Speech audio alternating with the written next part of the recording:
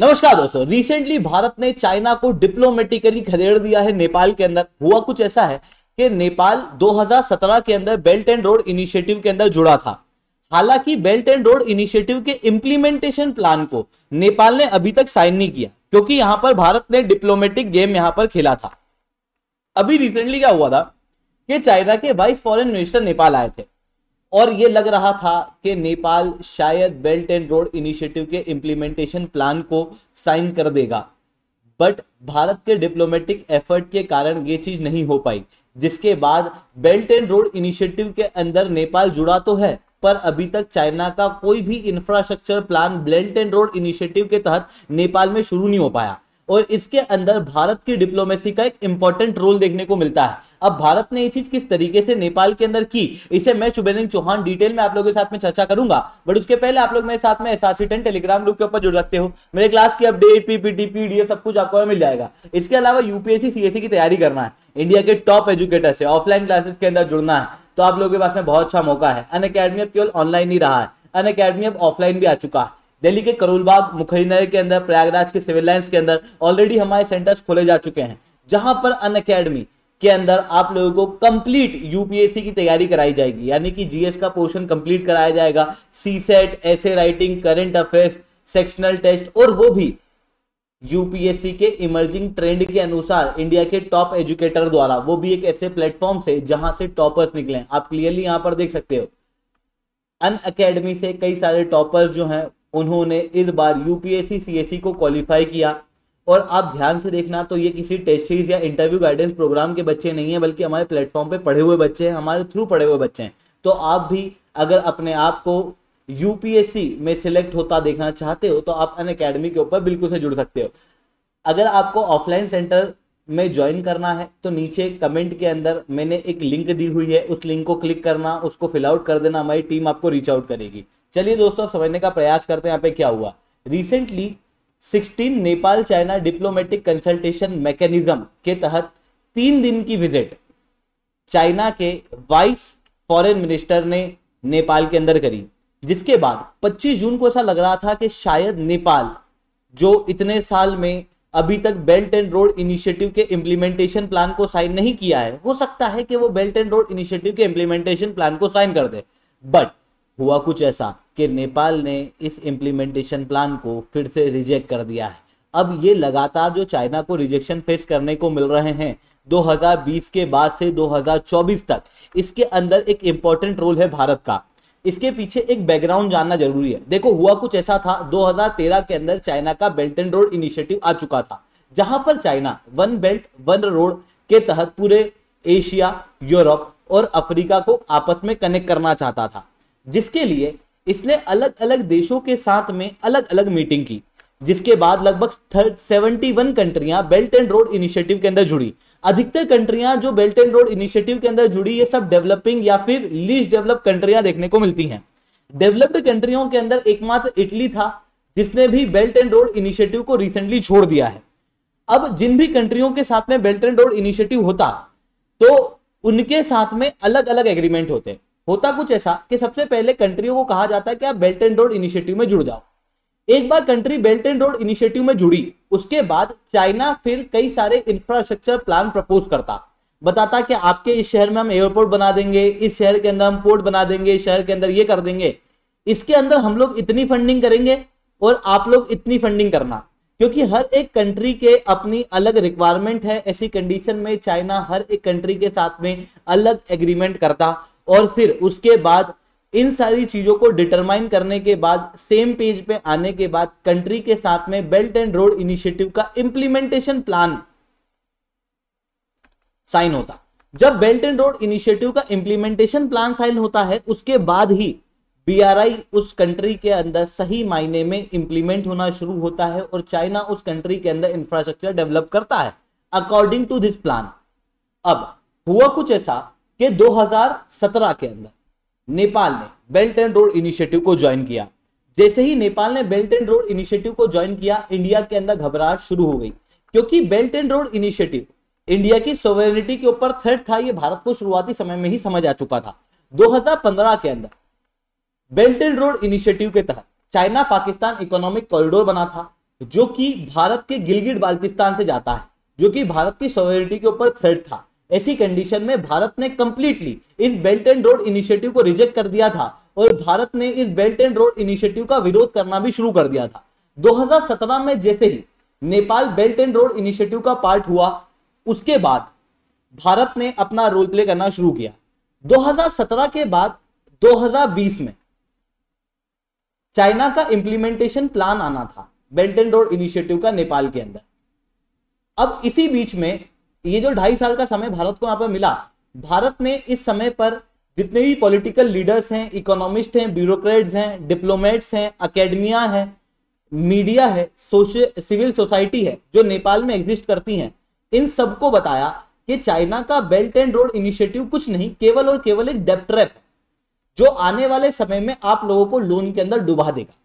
नेपाल के लगभग हर एक व्यक्ति के अंदर भारत ने डर का माहौल क्रिएट कर दिया बेल्ट एंड रोड इनिशिएटिव के लिए।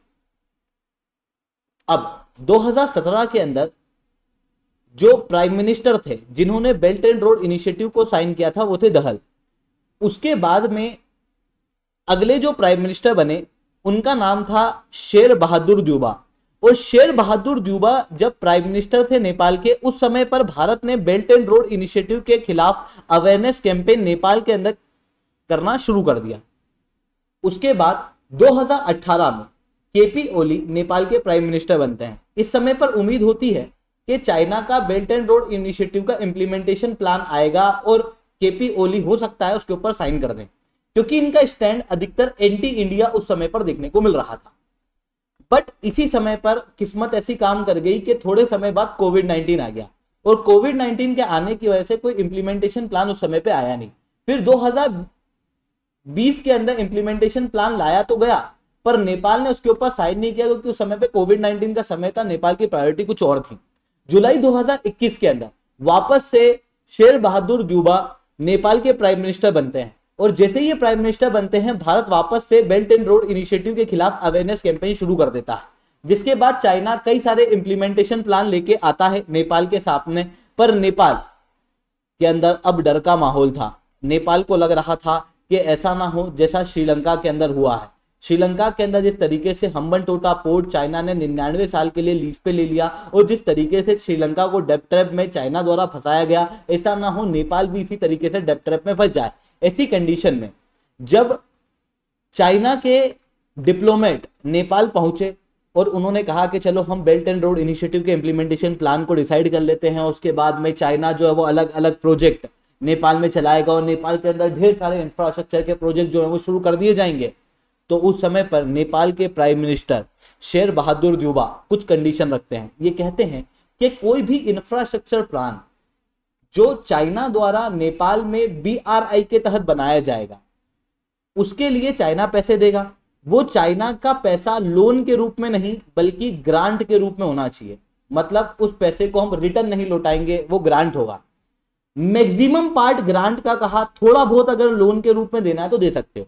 जो थोड़ा बहुत लोन के रूप में चाइना अगर नेपाल को इंफ्रास्ट्रक्चर प्रोजेक्ट के लिए देगा, उसके अंदर इंटरेस्ट रेट वैसे होने चाहिए, जैसे वर्ल्ड बैंक आईएमएफ जैसे मल्टीलेटरल डेवलपमेंट बैंक के इंटरेस्ट रेट होते हैं। यानी कि लगभग एक परसेंट के आसपास इंटरेस्ट रेट की बात इन्होंने की। इसके अलावा, जैसे ही इंफ्रास्ट्रक्चर प्रोजेक्ट सेंक्शन होता है, पैसे वगैरह भी चाइना से आ जाते हैं। उसके बाद इंफ्रास्ट्रक्चर प्रोजेक्ट कौन डेवलप करेगा, इसकी बात शुरू होती है। तो अब जनरली दूसरी कंट्रियों के अंदर, नेपाल ने ये चीज़ देखी थी। जैसे सिंगापुर के अंदर, श्रीलंका के अंदर, होता यह है कि चाइना कंट्री को पैसा दे देता है। कहता है कि हम इस एयरपोर्ट को बनाएँगे लेट अस अज्यूम कि इस एयरपोर्ट को हम डेवलप करेंगे। ऐसा चाइना ने कह दिया। चाइना ने उसके लिए पैसे भी दे दिए। फिर उसके बाद में इस एयरपोर्ट को बनाने के लिए चाइनीज़ कंपनी को ही टेंडर दे दिया जाता है। फिर चाइनीज़ कंपनी बहुत सड़ा गला आइटम इस एयरपोर्ट के अंदर यूज़ करेगी। या फिर इसके अंदर कुछ अच्छा काम करेगी नहीं करप्शन बहुत ज़्यादा करेगी। जो 100 करोड़ के अंदर एयरपोर्ट बनना होता है, उसको 200 करोड़ के अंदर बना के देगी। जिसके बाद जिस कंट्री के अंदर अगर ये एयरपोर्ट बना, वो कंट्री के ऊपर डेप्ट बढ़ता जाएगा। ये सब चाइना कैसे करेगा? अपनी चाइनीज़ कंपनियों के ज़रिए। तो नेपाल ने इसके खिलाफ भी एक प्रपोजल रखा। इसने ये कहा कि हम इंप्लीमेंटेशन प्लान तभी साइन करेंगे जब प्रोजेक्ट चाइनीज़ कंपनियों को नहीं, बल्कि ऑक्शन के ज़रिए नेपाली कंपनियों को दिया जाएगा। इन तीन कंडीशन को जब रखा तो चाइना को लगा, अरे हमारा तो कोई बेनिफिट ही नहीं है इस चीज़ में। ऐसी कंडीशन में चाइना ने इन सारी चीज़ों को रिजेक्ट कर दिया। जिसके बाद नेपाल को यह बात समझ में आ गई कि यार चाइना जो है वो कुल मिला के हमको डेप ट्रैप में फंसाना चाहता है। क्योंकि हम बहुत ज़्यादा ऐसी चीज़ तो मांग नहीं रहे। हम तो वही कह रहे हैं कि जो मल्टीलेटरल डेवलपमेंट बैंक के अंदर ब्याज रहता है, वो दो, और हमारी कंपनियों को अलाउ करो इस इंफ्रास्ट्रक्चर प्रोजेक्ट के लिए। पर चाइना उसके लिए एग्री नहीं कर रहा, इसका मतलब चाइना जो है उसके मन में खोट है। और इसी चीज़ से नेपाल के दिमाग में ये बात भी क्लियर हो गई कि भारत जो बेल्ट एंड रोड इनिशिएटिव के खिलाफ अवेयरनेस कैंपेन चला रहा था, वो बिल्कुल सही था। इवन पोखरा एयरपोर्ट ने भी एक इंपॉर्टेंट रोल प्ले किया। देखो, पोखरा एयरपोर्ट नेपाल के अंदर चाइना द्वारा ही बनाया गया था। इसके अंदर लगभग 305 मिलियन डॉलर लगे थे, जिसमें से 215 मिलियन डॉलर चाइना ने दिए थे। और चाइना ने इसके लिए ब्याज दिया था लगाया था दो प्रतिशत का, जबकि दूसरी मल्टीलेटरल डेवलपमेंट बैंक वन प्रतिशत के आसपास का ब्याज लगाती है। वही ये जो पोखरा पोर्ट है एयरपोर्ट है, इस पोखरा एयरपोर्ट को डेवलप भी चाइनीज़ कंपनियों द्वारा किया गया, जिसके कारण से शेडी कंस्ट्रक्शन हुआ कॉस्ट बहुत ज़्यादा लग गई, और इसकी वजह से नेपाल का बहुत ज़्यादा नुकसान हुआ। नेपाल के ऊपर ओवरऑल रूप से डेप्ट बढ़ गया। अब नेपाल का कहना यह है चाइना से कि जो डेप्ट है, इसे आप ग्रांट के अंदर कन्वर्ट कर दो। अगर चाइना इसे ग्रांट के अंदर कन्वर्ट नहीं करेगा तो नेपाल के पास इतना पैसा ही नहीं कि वो चाइना को लौटा दे। ऐसी कंडीशन में नेपाल को यहाँ पर डिफ़ॉल्ट करना पड़ेगा। और अगर नेपाल यहाँ पर डिफ़ॉल्ट करता है तो ओवरऑल रूप से नेपाल की इकोनॉमी डाउन जाएगी। इन सारी चीज़ों के बावजूद भी चाइना ने नेपाल की एक नहीं मानी, और चाइना का कहना था नेपाल से कि आप हमको पूरा पैसा दो। जिसके बाद नेपाल को ये चीज़ क्लियर हो गई कि बेल्ट एंड रोड इनिशिएटिव के तहत चाइना जो है वो डेप ट्रैप के अंदर फंसाना चाहता है। इंडिया जो नेपाल को कह रहा था, वो बिल्कुल सही है। जिसके बाद चाइना द्वारा कई सारी कोशिश की गई कि बीआरआई के इम्प्लीमेंटेशन प्लान को नेपाल के अंदर साइन करा दिया जाए। बट अब ये साइन नहीं हो रहा है। इवन क्योंकि शेर बहादुर द्यूबा द्वारा एक मिनिमम क्राइटेरिया यहाँ पर सेट कर दिया गया कि भाई ये क्राइटेरिया होगा तभी हम बीआरआई के इम्प्लीमेंटेशन प्लान को साइन करेंगे। अब आने वाले कोई भी लीडर चाहे वो फिर केपी ओली हो, या फिर दहल हो, कोई भी हो, अगर वो इससे ज़्यादा रेट के अंदर चाइना से बेल्ट एंड रोड इनिशिएटिव के अंदर डील करते हैं तो वो फिर उनके पॉलिटिकल करियर के लिए भी खराब होगा और साथ में नेपाल के इंटरेस्ट के भी खिलाफ होगा। ऐसी कंडीशन में मिनिमम स्टैंडर्ड सेट हो चुके हैं। अब कोई भी नया लीडर आता है तो वो नया लीडर इससे कम रेट में नेपाल, चाइना से बात करने के लिए तैयार नहीं होता। इवन अभी आप देखो तो पुष्पा, कमल, दहल लीडर है नेपाल के। और जब ये लीडर देखने को मिल रहे हैं तो इन्होंने ही शुरुआत के अंदर बेल्ट एंड रोड इनिशिएटिव को साइन किया था बट उसके बावजूद भी इन्होंने सेम कंडीशन रखी है, जिसको चाइना ने अभी तक नहीं मानी, जिसके कारण से बेल्ट एंड रोड इनिशिएटिव के इम्प्लीमेंटेशन प्लान को अभी तक नेपाल के अंदर साइन नहीं किया गया। आई होप आप लोगों को सारी बातें समझ में आई होंगी। लेक्चर अच्छा लगा हो तो लाइक करना लेक्चर बहुत अच्छा लगा हो तो नीचे टेन कमेंट करना। यूपीएससी सीएससी की तैयारी करना इंडिया के टॉप एजुकेटर से ऑफलाइन क्लास के अंदर जुड़ना है। तो आप लोगों के पास में बहुत अच्छा मौका है अन अकेडमी अब ऑफलाइन आ चुका है। अन अकेडमी के सेंटर को देखना है तो इस वीडियो को एंड तक देखना।